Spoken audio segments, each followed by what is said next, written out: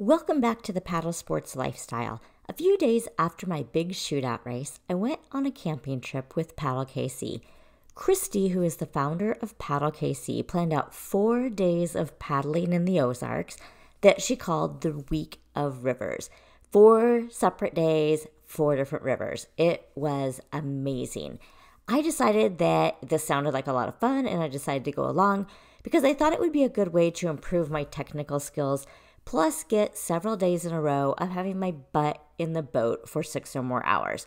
Plus, I would meet new friends and have a great time camping because I've only camped one other time before, and that was also on a Paddle KC trip. So I packed up my Jeep and headed down to southern Missouri for our big paddling adventure. We started out on the Current River and we had a fun first half to our first day. And I say first half because near the end of our paddle, we repeatedly came up on some motorboats. Now, the current river isn't very wide, so there's not a lot of room to maneuver, not a lot of room for powerboats to be flying past you. And the people in the boat seemed to really enjoy watching our kayaks struggle against their wakes. Their smug facial expressions had already made me angry, but it quickly got worse. One of our paddlers had her dog Daisy with her. Daisy did not like the powerboats, and she jumped off the kayak and started doggy paddling to shore. Of course, this happened right as another boat came speeding toward us. Fortunately, Daisy got to shore without being hit by the careless boater. And while this was going on, another member of our group had her boat flooded by the wake from the power boats. It was just a bunch of careless people on speedboats out on the river just looking to make life miserable for somebody. However, we all regrouped and we made it back to camp without any incidents. As we're walking back to our campsite, we notice that now the campers at the campsite next to us have a sign up and it says Power Boat Nationals. This meant that if we stayed on the current river for the weekend, we would continue to deal with these people whose idea of fun was popping a beer and speeding down the river, scaring women and dogs. And if that wasn't bad enough, we realized the campsite restroom was no longer usable. The toilets had flooded, and there was poop and pee and all sorts of disgusting mess all over the women's restroom. No doubt because of our new friends who made a mess while we were away. Now, our original plan was to go to another section of the current river the next day. And then that morning, as we were shuttling vehicles, we had already planned on moving campsites to something closer to the 11 Point River. So, no matter what, we only had that one last night at that particular campsite. So, to get away from our less than friendly fellow campers, we changed rivers a day early and we moved to the new campsite the next morning as planned. Now, one cool thing that happened when I woke up Thursday morning was that there were horses right behind my tent, just doing their thing, grazing in the field behind me.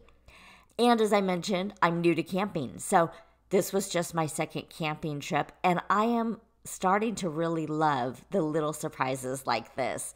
Like, who would have expected horses behind my tent in the morning. I thought that was super cool. We also later in the trip discovered, I'm sure everybody else knew, but this is all new to me. I did not know that a raccoon could open a cooler. Raccoons opened a cooler and ate through a dry bag containing a whole bunch of breakfast burritos that one of our paddlers had brought for breakfast throughout the next couple of days. Anyway, so we move campsites, we go to a new river, our experience on the 11 Point River was much better. We saw river otters, a waterfall, we paddled inside a cave, we saw some springs, and it was just beautiful. And both the 11 Point and the Current are beautiful, and I highly recommend them. If you are addicted to your technology, you should know that you will not have cell service. I think I had service for maybe 15 minutes total over the four days. And that was while we were shuttling cars back and forth so that we would have cars to transport our boats back to camp. So, no cell service, which was kind of nice to be completely disconnected. I think this is only my second trip, and I couldn't even tell you how many years where I traveled without my laptop just in case something happened. So I was completely disconnected, and that was nice. A few other things happened on the 11 Point River that I thought were good reminders for our MR340 crew. Some of the things that happened as we were going along the 11 Point River, somebody suggested they wanted to slow down a little bit and make our trip just a slower, more leisurely pace. So everybody pulled off onto a sandbar and we decided to have a snack. Well, one of the women, as she opened up her hatch, discovered that her boat was full of water. And so it was really great that we ended up stopping because we discovered that her boat was full of water and we were able to fix it. So one of the guys got down, checked it out. We dried it off. Then they put duct tape all around the outside. And then on the inside, somebody had super glue. They super glued something plastic on the crack where the water was coming in on the inside of the hull. That was pretty much enough to keep her boat from leaking for the rest of our trip. We just wanted to make sure that she didn't go over any rocks or do anything intentionally that was going to crack that wide open again.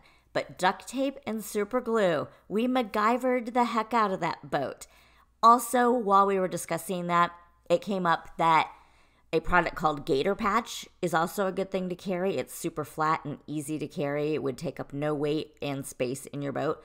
And then also something called Water Weld, which will patch a hole and your boat doesn't have to be dry for that. I think it says it takes 20 minutes to set. So those are some things now that will be in my bags for my crew during the MR340, just in case something happens to one of the boats. The next thing that happened to us is on the 11 Point River one day, there was a sudden downpour. So at first it was sprinkling, and we're all thinking, yeah, that's cool. We're in kayaks, we're in the water, no big deal. Then we heard the thunder, then we saw the lightning. And anytime there's lightning, for safety reasons, you need to get off the water. So we got off the water. It is pouring buckets. We are just drenched. Everybody kind of stopped in various places we were all very close to each other, but different places on the bank because you can't just automatically park like 12 boats side by side by side on the bank at a random spot. So we all get out of our boats and I open my hatch. I had already packed because I've been trying to try out different things that I might need for the 340. So I had bought these emergency rain ponchos, super small. They fit in a pack, they'll fit in a fanny pack, and you can just take them with them, with you in case you encounter unexpected rain. And the nice thing about the ones I bought is that they are mylar, and the temperature had dropped quite a bit as the rain came in. And so now I'm wet and I'm starting to shiver because I'm cold. So that mylar emergency rain poncho was perfect. And I gave out as many as I had, and it kind of helped us stay dry.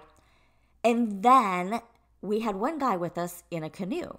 And so he flipped over his canoe and kind of rested it on two of the kayaks, and we all crawled under the canoe. It was a, uh, I think you call it a skin on frame. So it was one that was not a metal canoe. It was made out of all things that were not metal. So we got under the canoe and used that as our shelter. And then we just started talking. We had some interesting people on this trip. Some of the guys dehydrate their own food and had brought dehydrated snacks that they were sharing as we paddled. And so we just started getting in conversations about cooking and paddling and people's backgrounds. And before we knew it, 45 minutes had passed and the sun was back out. Super foggy afterwards, but we were on our way and everybody in our group was safe and happy. So I loved the reminder of things that I need to make sure that we have, if not on board for our race, in the packs that our crew will carry. So that was just a, a, good experience overall. And then we were soaking wet, but we still went and had lunch and we saw some of the springs and we saw an old paddle wheel that was run by the waterfall. And so it, we just saw lots of cool, cool things. And on this trip, I just really loved seeing some of the dehydrated meals that some of the people made, and it inspired me to think about what kinds of things can I make to carry with me so that I have food that I don't need to worry about spoiling while we are on the MR340.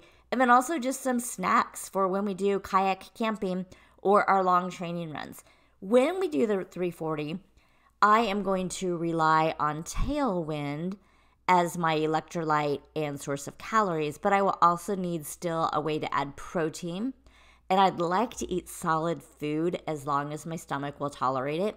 And so these are some of the things I'm thinking about as we're having discussions about food and dehydrated meals and things that are shelf stable. So I thought that that was just a fabulous trip. I really enjoyed most of the interactions I had on this trip. And in the next episode, I'm going to tell you about some of the negative interactions I had on this trip and why it has me fired up. I hope you are having a great summer and wherever life takes you, make it an epic adventure. Catch you next time.